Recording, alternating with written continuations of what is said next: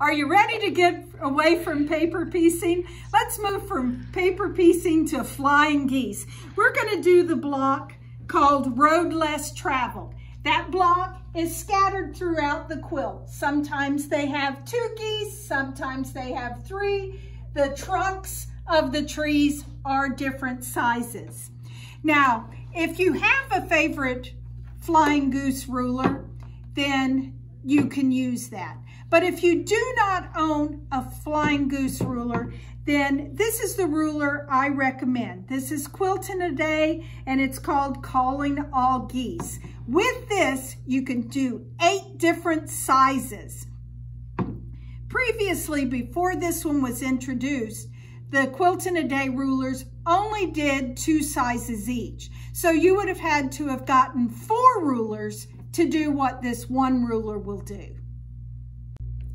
Okay, to start with, we have to make what I'm calling the tree trunk on this. And you can just follow the instructions here. They are strip pieced. You're going to sew a background, the red, and a background together. You'll sew those strips together, and then you will cut them to the different sizes that are specified. So that does the base of your tree. Now, to move into our flying geese, this is a wonderful technique. Uh, there are several that I use, and this is one of them. And we're going to use one large square and four small squares. With this, I can make four flying geese with this pattern. So to start with, just use the measurements that are given in the book. And I'm going to take and I'm going to place a background square in the corner.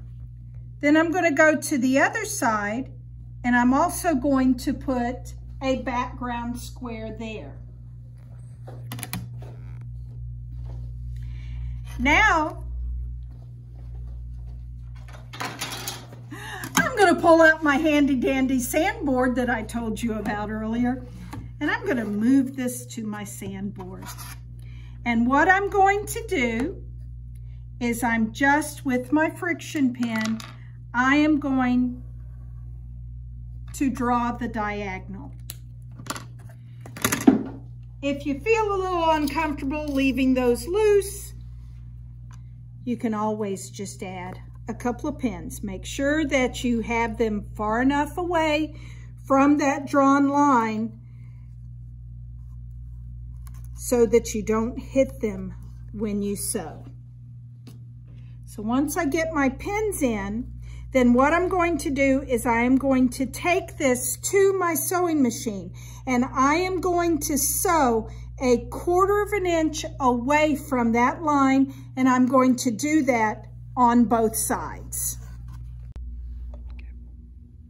Now I'm just going to go down and I'm going to sew a quarter of an inch on each side.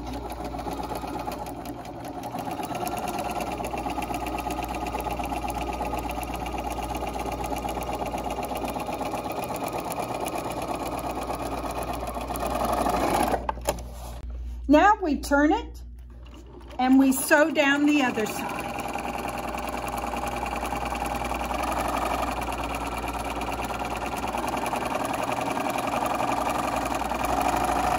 Now the line that we drew now becomes our cutting line. I'm going to remove my pins.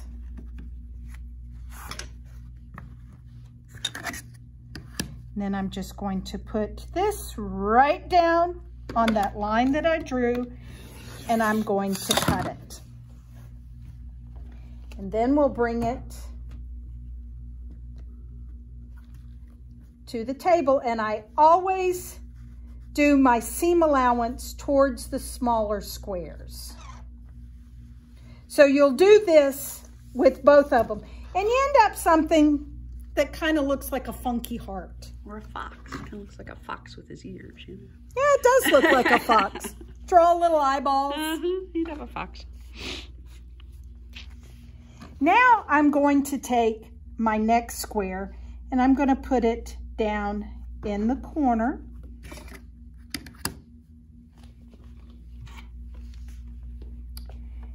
And I'm going to draw the diagonal on this corner.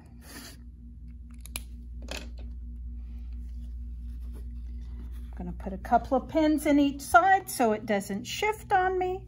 And then it's back to the sewing machine where we're going to sew a quarter of an inch down each side of this line.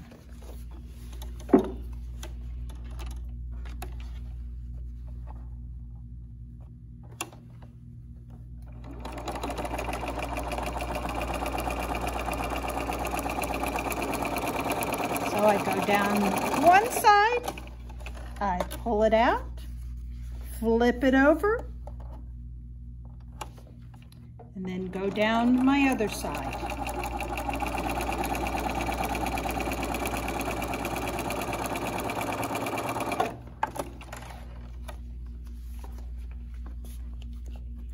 Now again, that line that I drew now becomes my cutting line. So once I do that with the other piece and with this and get it all cut apart, and when I press it, I will now have four flying geese. But now the flying geese need to be cut down to size. Now we've got to cut this down. We want this to measure three and a half inches tall by six and a half inches wide. As you see, it's a little wonky, but that's okay, it's oversized. So to use the Calling All Geese ruler, I always tell my people, have your goose where it's flying across you. And then I'm going to take, with this ruler, this upper triangle, and I'm going to put my goose in that upper triangle.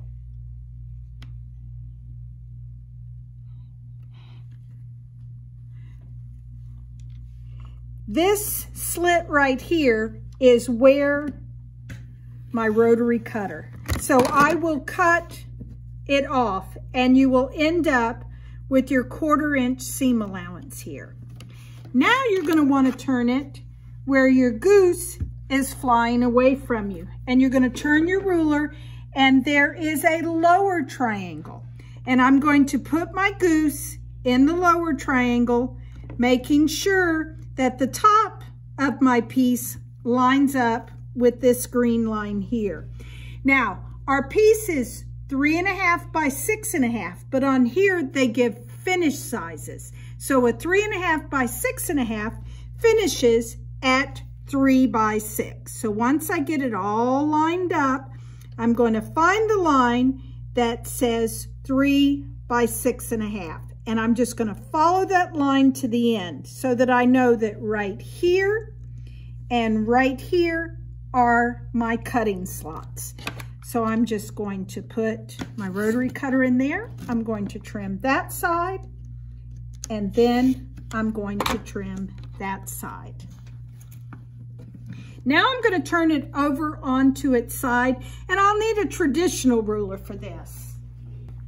I know that this mesh is supposed to measure three and a half. So I take my ruler, I line it up with my three and a half and it just so happens that I have nothing to trim off here. Sometimes you have just a hair that needs to come off the bottom. So now when I do that with all of them, I now have four of these. So you're gonna go through and you're gonna make all the different colors. Just use the pattern. It'll show you which color goes where and you will just stack your flying geese. Let me cut one more and I'll show you about how to put two together. So let's go back first. Got my goose flying across. I put it in the upper triangle.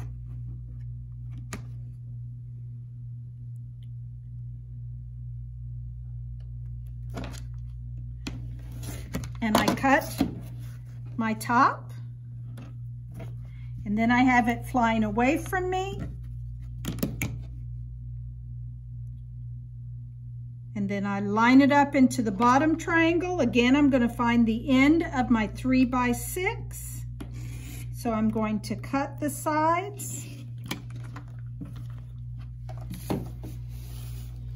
Then I'll use, ooh, nothing like taking out the cameraman. Then I'm going to line up my three and a half inches. Now you see on this one, I do have just a smidge that needs to come off the bottom. So when you place the two together, so if we were gonna sew these two together, I'd fold it over, but what I would do is I would have this one on top. That way I can see where the two seam lines cross. So when I'm sewing my quarter inch, I want to go through that point. So let me go to the sewing machine and I'll show you what it will look like. Okay, so now I've taken it, I've got the top of the goose, up on top so that I can see it. So I'm just going to sew my quarter of an inch.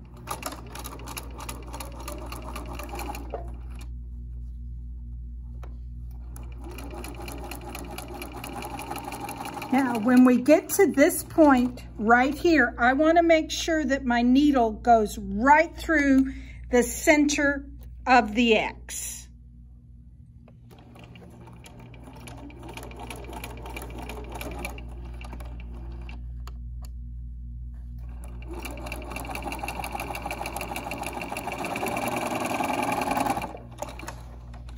That way, when I take it over to the ironing board and I press it, I have a perfect point. So that's it for this month. So go through, just follow the instructions, put all of your trees together and follow the colors and have fun making flying geese.